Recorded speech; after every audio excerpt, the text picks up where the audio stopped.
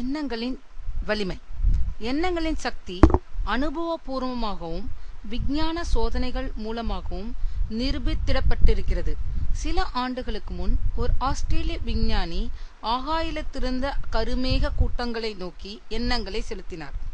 தம் சோதனை சாலையில் இருந்த வண்ணம் அந்த மேக கூட்டம் கலைய வேண்டும் என்று எண்ணினார். தொடர்ந்து உணர்ச்சி வசப்பட்டு ஐந்து நிமிடத்துக்கெல்லாம் மேகம் கலைந்தது. இதை மீண்டும் மீண்டும் செய்து காட்டினார் அவர்.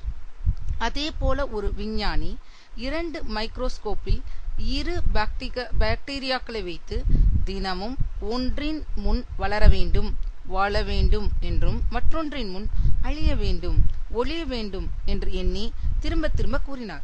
சில நாளில் வளர சொன்னது வாழ்ந்தது இறக்க சொன்னது செத்தது. இவ்வுலகில் காரண காரியங்களின் தொடர்பை நாம் அறிவோம். ஒவ்வொரு காரியத்திற்கும் ஒரு காரணம் இருக்கிறது. ஒரு காரணம் ஒரு காரியத்தில் முடிகிறது. இது உலக நியதி. அதை ஆங்கிலத்தில் காஸ் அண்ட் எஃபெக்ட் என்று கூறுவார்கள். அந்த அளவில் எண்ணம் ஒரு காரணம் பலன் ஒரு காரியம். மனத்தில் கோப எண்ணங்களை கொள்ளுங்கள். கோப உணர்ச்சி கிளம்புகிறது. சற்று நேரத்தில் கோபம் அடங்கும் போது நமக்கு நரம்பு தளர்ச்சி ஏற்படுகிறது. கோப எண்ணங்கள் நம் உடல் நிலையை மாற்றி நம் சக்தியை வடித்து விடுகின்றன. கோபமாய் இருக்கும்போது நமக்கு பசி எடுப்பதில்லை. காரணம் கோப எண்ணங்கள் உடலில் ரசாயன மாறுதல்களை ஏற்படுத்துகின்றன. அதேபோல் மனதில் தவிப்பையும் பயத்தையும் கொண்ட எண்ணங்களை உலாவ விடுங்கள். மனிதன் படபடைப்புகிறான். நெருக்கடியான நிலையில் இருப்பதை உணர்கிறான். நெருக்கடி நிலை உடலில் மாறுதலை உண்டு பண்ணுகிறது. முறுக்கேறிய நரம்புகள் வயிற்றில் புண்களை அல்சர் ஏற்படுத்துகிறது. மருத்துவர்களை கேளுங்கள். நெருக்கடிதான் வயிற்றுப்புண்ணின் முக்கிய காரணம் என்பார்கள். நெருக்கடி ஒரு மனநிலை. தவிப்பு பயம் போன்ற எண்ணங்கள் உண்டாக்கிவிடும் ஒரு நிலை அது. எண்ணங்களை மாற்றுங்கள். உடல் முறுக்கு தளர்கிறது.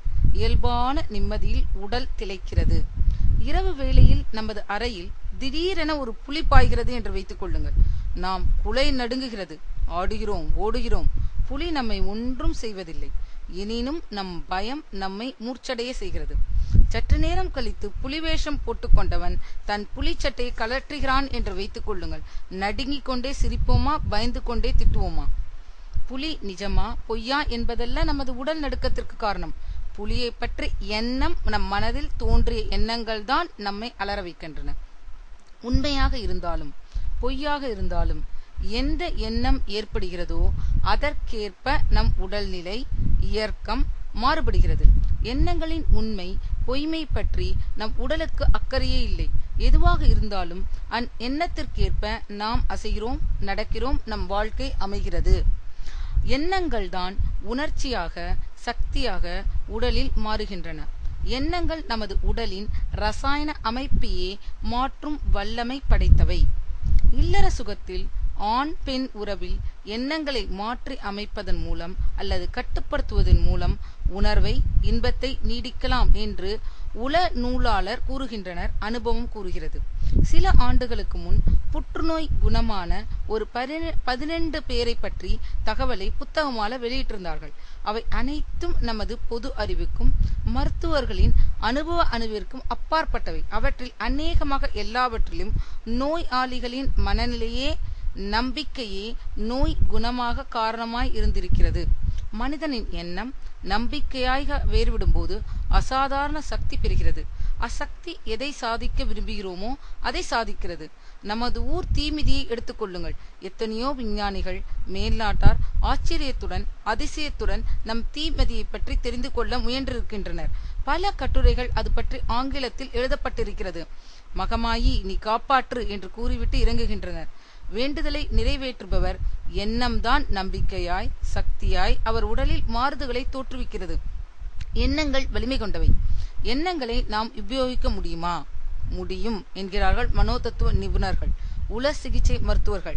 பல மருத்துவமனை நோயாளிகள் உள சிகிச்சை மூலம் குணப்படுத்தப்படுகின்றன.